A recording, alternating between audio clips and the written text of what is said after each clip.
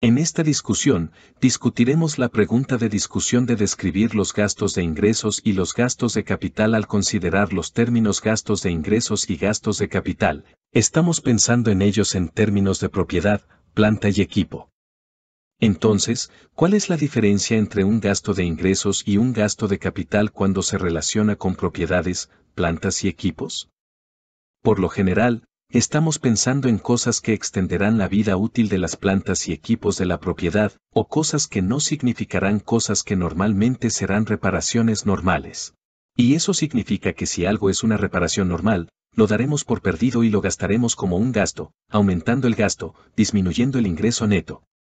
en el momento en que tenemos la reparación normal, a diferencia de si tenemos un gasto de capital que va a ser algo que extiende la vida útil del equipo, entonces necesitamos ponerlo en los libros como un activo, capitalizarlo y luego depreciarlo a lo largo de la vida útil de ese gasto de capital. Entonces, cuando pensamos en algo como propiedades, plantas y equipos, o algo como equipo, cualquier cosa que sería un trabajo de mantenimiento normal, como un cambio de aceite, o algo como ese tipo de mantenimiento normal, entonces lo descartaríamos, y la entrada del diario sería algo así como un débito a un gasto. Gastos de reparación y mantenimiento, posiblemente y un crédito a algo como dinero en efectivo o cualquier forma de pago que tuviéramos, aumentando el gasto, disminuyendo el ingreso neto, si, por el contrario, hacíamos algo que alargara la vida útil.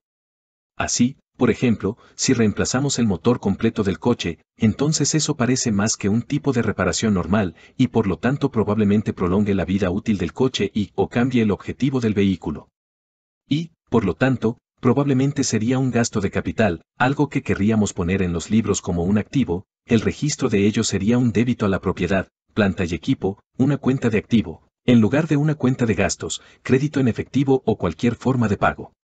Y luego, por supuesto, al igual que con las propiedades, plantas y equipos, tendríamos que depreciar y encontrar alguna manera de depreciar esa mejora de capital a lo largo de la vida útil del activo. Así que,